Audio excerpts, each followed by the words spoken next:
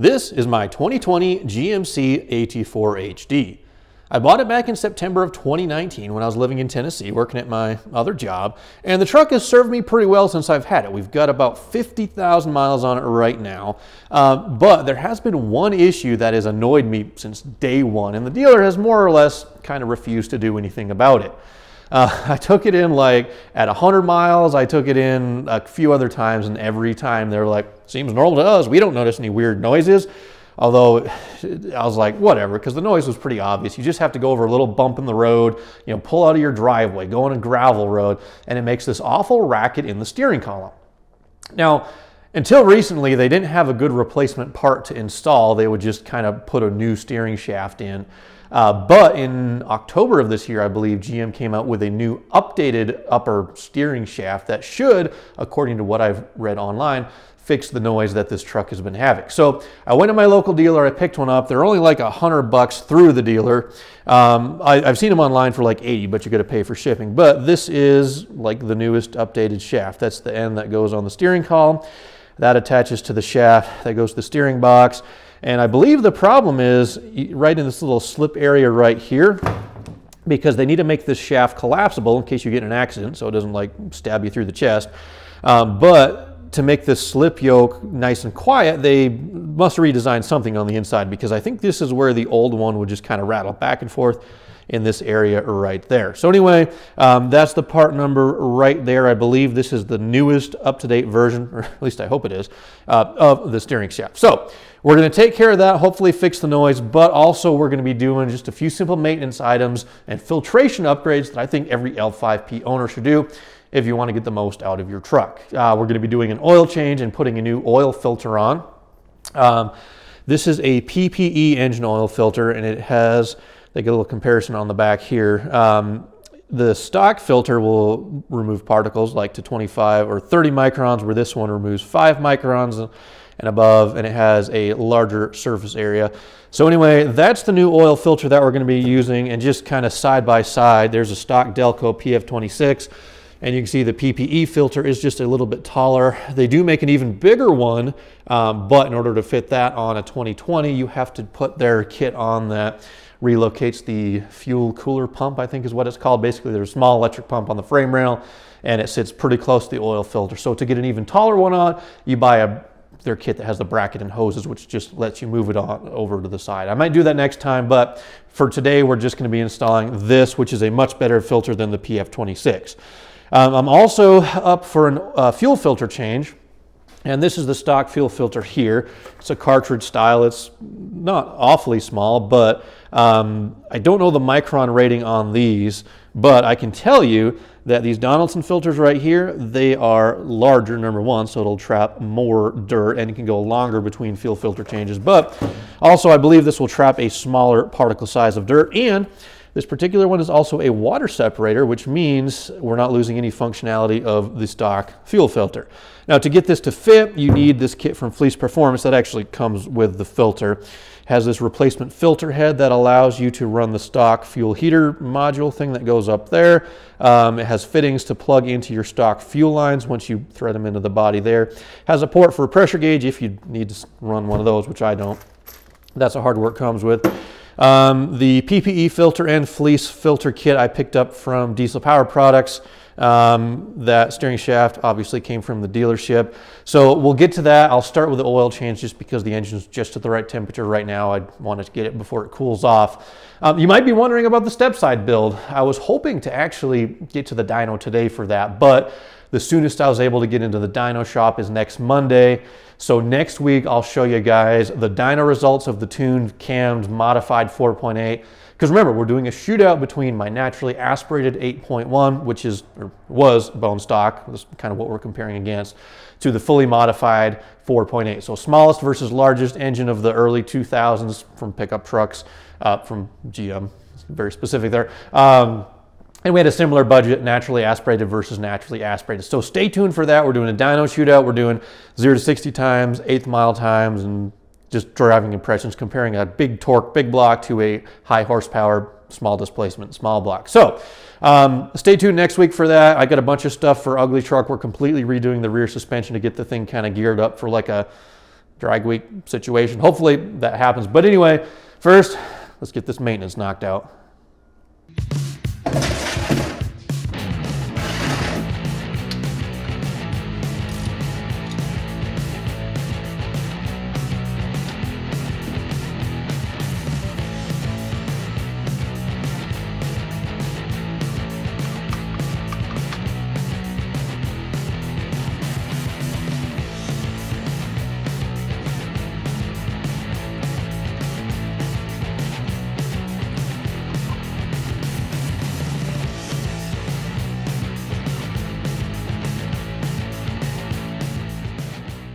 All right, so I was just about to add a little bit of oil into the filter just to kind of help pre-lube it and then get some on the O-ring when I noticed there's actually a magnet in the bottom of this oil filter and it's a pretty powerful one too, like it'll hold the weight of the filter up.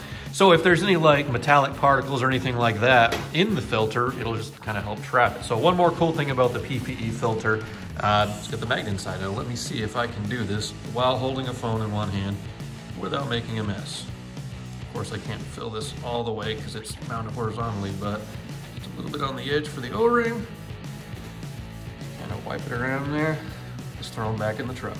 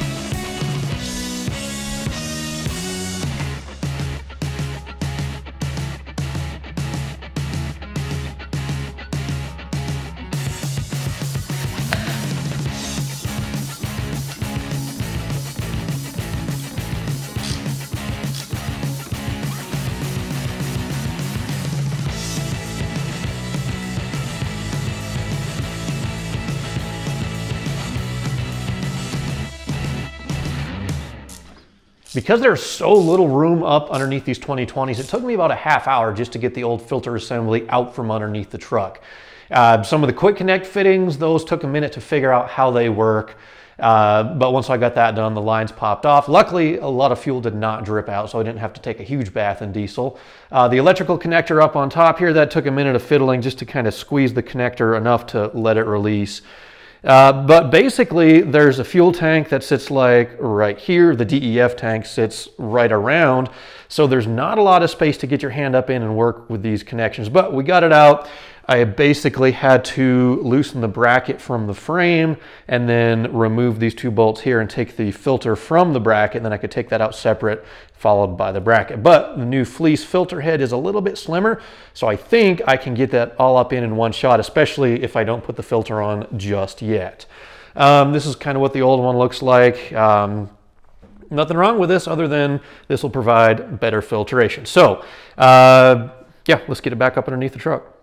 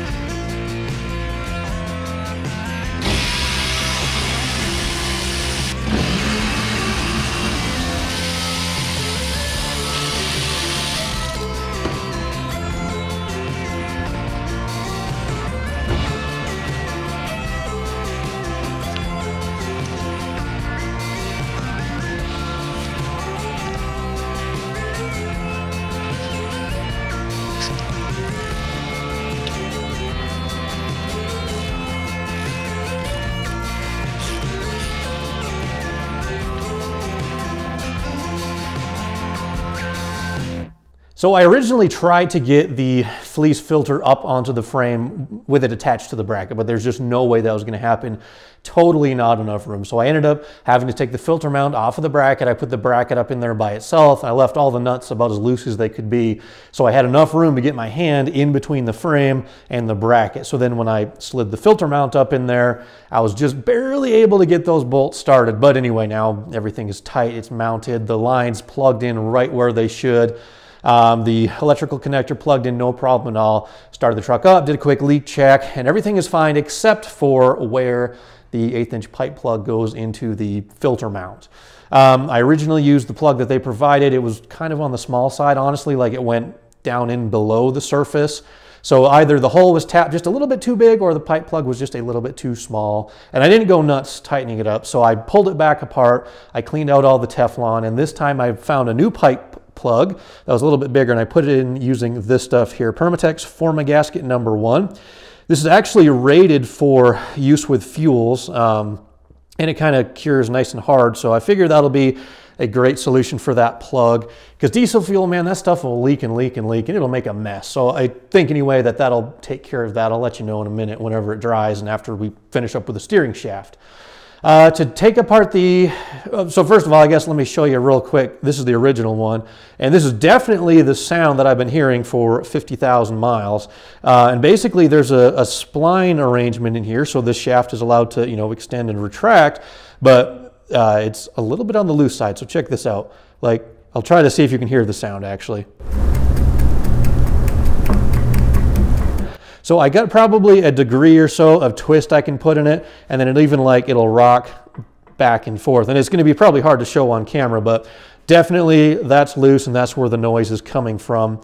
So the new style right here, you can see it's like silver and the original one is black. This is the 2019 one. And there might be some different versions in between the old and the new one, but um, hopefully this will cure all the noise that we've been hearing. To get that out, I pop the fender liner. You can probably go uh, like from the top here, you can kind of reach it, but uh, with how tall this truck is, it's a little bit easier just to kind of go in from here. I don't know if I can actually, it's disconnected now, but you want to pull the nut off on here and kind of slip the shaft up so it disengages with the shaft that goes from about here down to the steering gearbox.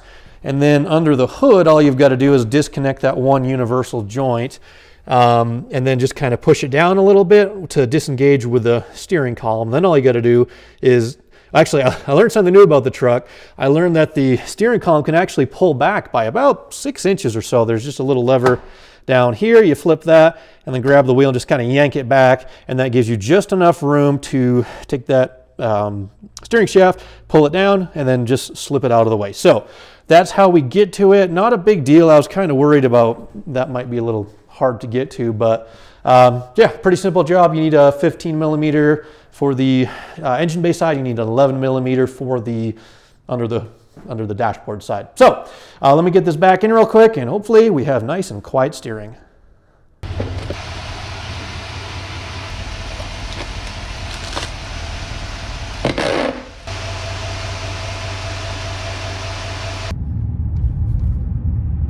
All right, so this road that we're driving down right now is fairly bumpy. The pavement's kind of rough. And normally this is where I would hear quite a few little clunks coming from the steering shaft. And so far, it seems like it's a fair amount quieter. In fact, I don't hear any noises. So uh, here's a good pothole. Let's listen.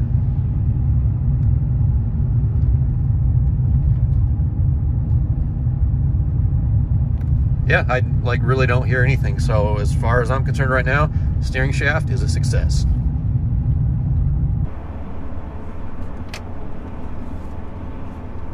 So first thing I noticed backing the truck out of the garage and kind of into the street, there's a nice little bump right there where the curb is. Uh, truck is so much quieter now. That little steering clunk is gone.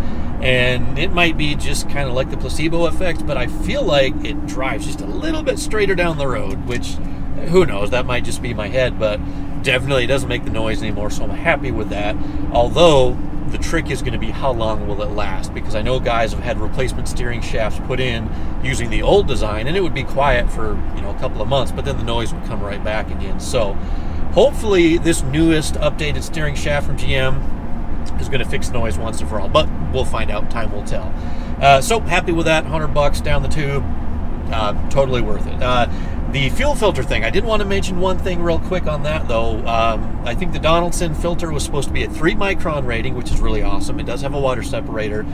But even though it is a better fuel filter than what GM put in there, you may have issues with your service department when it comes to a warranty issue. I don't know for sure, but like let's say you took it in and you had a problem with the injectors. This truck has had injector problems before, um, which I think is actually the electrical connector, not actually the injector, but they replace everything. Uh, anyway, if you do take it into the service department with a fuel related complaint, there is a chance if you have an aftermarket fuel filter on there that they may not honor the warranty. They may consider that voided. So keep that kind of in the back of your mind. Hopefully that doesn't come back to bite me in the butt later on. Um, although I will say I do have the stock filter. I'm going to save it just in case we have any problems. So uh, the filter is a pain in the butt to swap out, but I don't know. You got to do what you got to do, right? We're getting 50,000 miles on this thing and hopefully we don't have any more issues with the fuel system. Anyway, that's going to bring this video to a close. The truck's ready for another couple thousand miles before we get to touch it again. I just rotated the tires. Um, thank you guys for watching. I do appreciate it. Do me a favor though, uh, drop a comment down below, click the like button, or subscribe to the channel. Your choice. Pick one out of the three. Either way, it'll help the channel grow. Um, next time I'm going to be working on the ugly truck. We're going to be swapping out the torque converter. Uh, that's been something that's been on my plate for a long time. I've just never had the time to do it. So we're going to start on the converter. Hopefully that'll help that big S480 turbo spool up quicker.